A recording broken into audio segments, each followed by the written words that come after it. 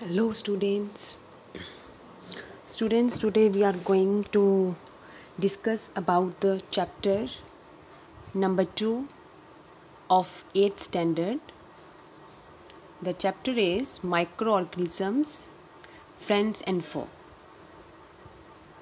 Here in this video we will discuss about the back exercise of chapter number 2 okay? So let's start First of all, fill in the blanks. Microorganisms can be seen with the help of a dash. Microorganisms को हम देख सकते हैं किसकी help से microscope की help से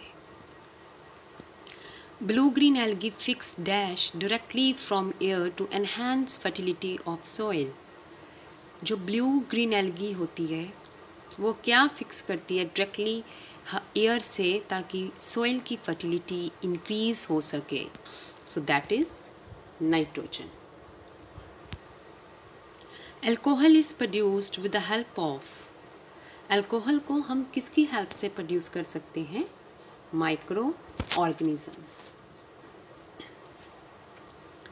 and last one cholera is caused by cholera किसकी वजह से होता है? By bacteria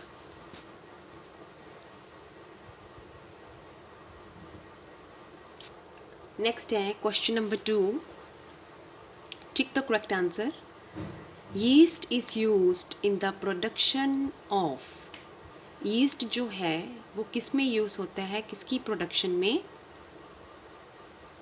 Alcohol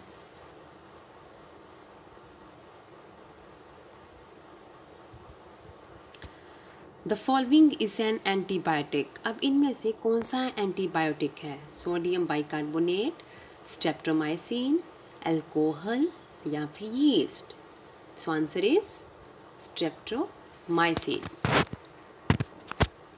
carrier of malaria causing protozoan is malaria cause जो करता है protozoan that is female anopheles mosquito cockroach house fly or butterfly?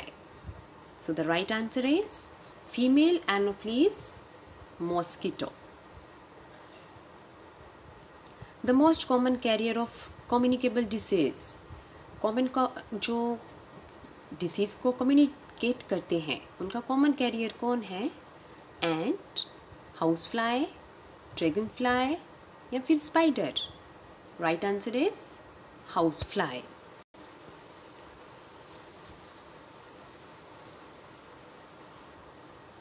the bread और idli dough rises because of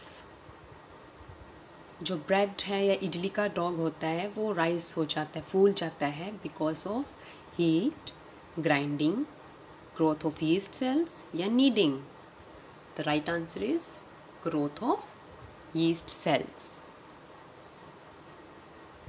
The process of conversion of sugar into alcohol. जो हम sugar को alcohol में convert करते हैं, उस प्रोसेस को हम क्या बोलेंगे?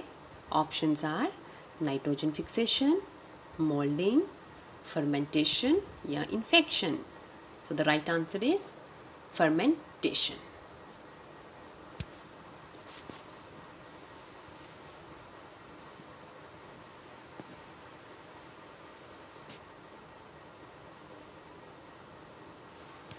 then we have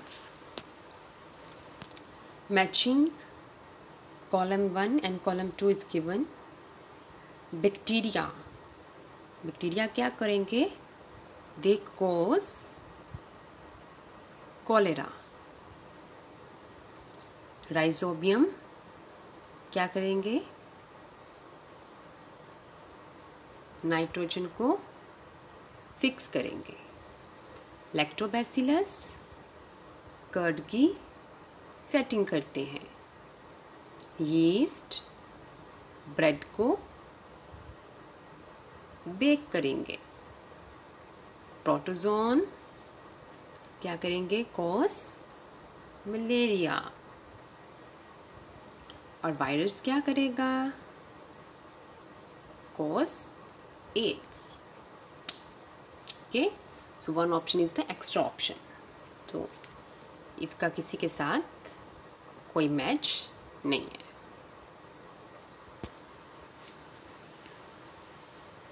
No let's start the question can micro organisms be seen with naked eye if not how can they be seen क्या माइक्रो ऑर्गेनिजम्स को हम नेकड आय से देख सकते हैं? अगर नहीं तो कैसे देख सकते हैं? No micro organisms can not be seen naked eye as the very small and are called microbes ये बहुत ही स्मॉल होते हैं और इनको हम क्या बोलते हैं? माइक्रोब्स और इनको हम किसकी हेल्प से देख सकते हैं? With the help of microscope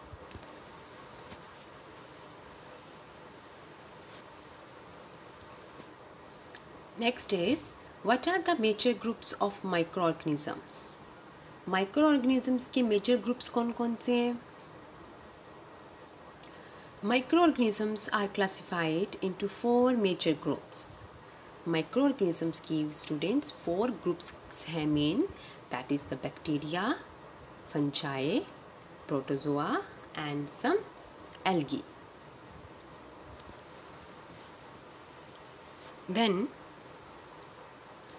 Name the microorganisms which can fix atmospheric nitrogen in the soil.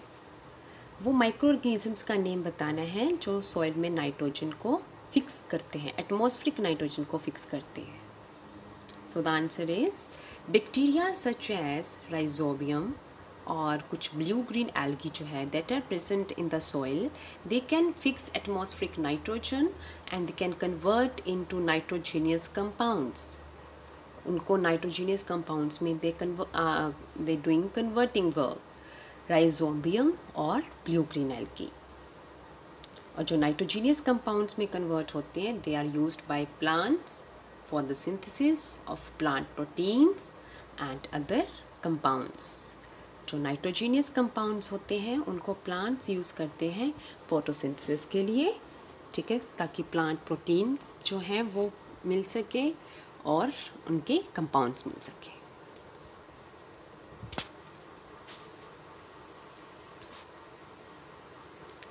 Then write ten lines on the usefulness of micro organisms in our lives हमारी lives में micro organisms के क्या uses हैं? We have to write ten lines about it micro organisms are too small बहुत ही छोटे होते हैं। ठीक है? They are vital to plants and the environment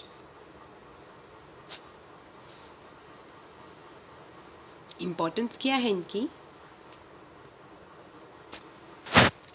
They are use in wine making baking pickling and other food making process wine बनाने में baking में या पिकिंग में?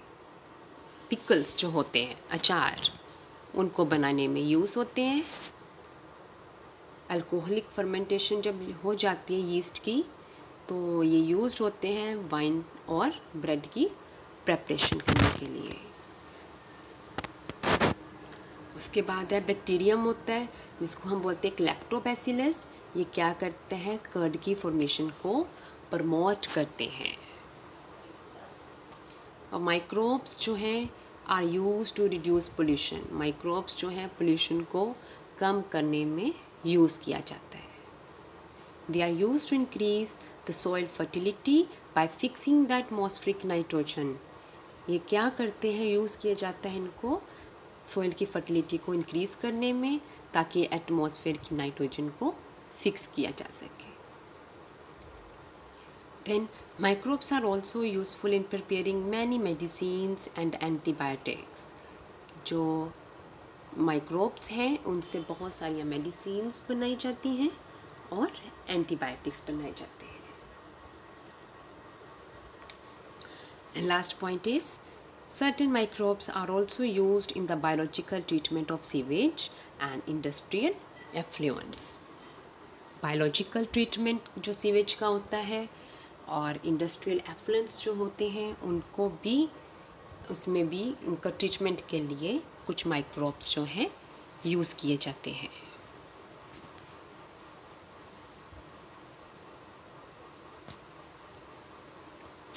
Write a short paragraph on the harms caused by microorganisms. Microorganisms are harmful in many ways. बेटा microorganisms का जो है different ways से अगर देखा जाए तो इनके हार्म्स भी हैं। कुछ माइक्रो ऑर्गेनिजम्स जो हैं, वो डिसीज़ कोज करते हैं ह्यूमन बींग्स में प्लांट्स में और एनिमल्स में।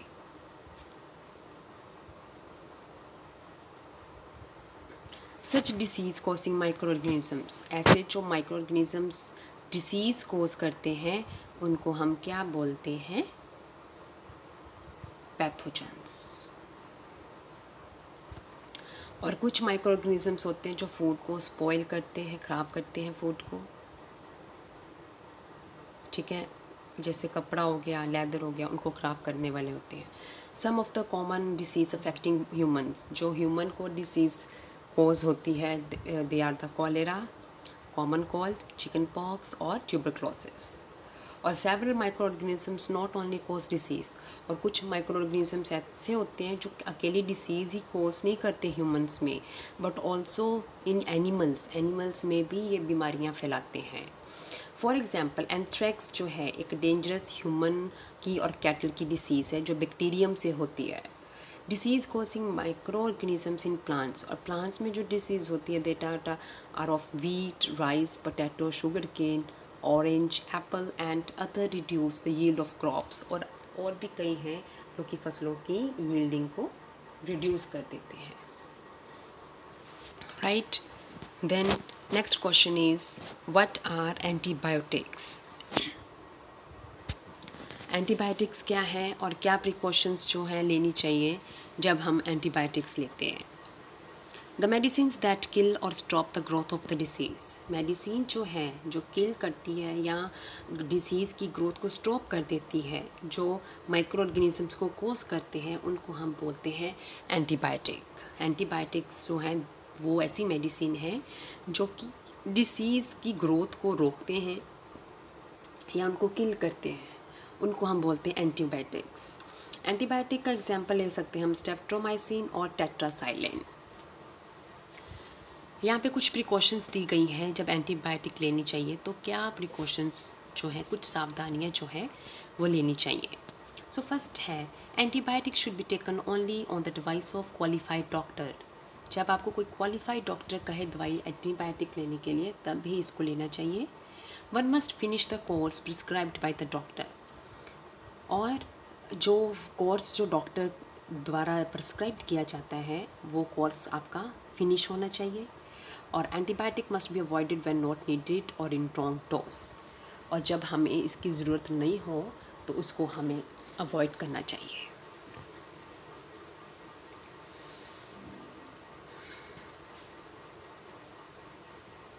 Right so these were the questions of chapter number two from the back exercise और स्टूडेंट्स मेरे पास कुछ एक्स्ट्रा क्वेश्चन है इस चैप्टर के regarding so I would like to discuss also with you okay तो अभी हम कुछ एग्जाम्पल्स के क्वेश्चंस हैं आपके चैप्टर्स के रिलेटेड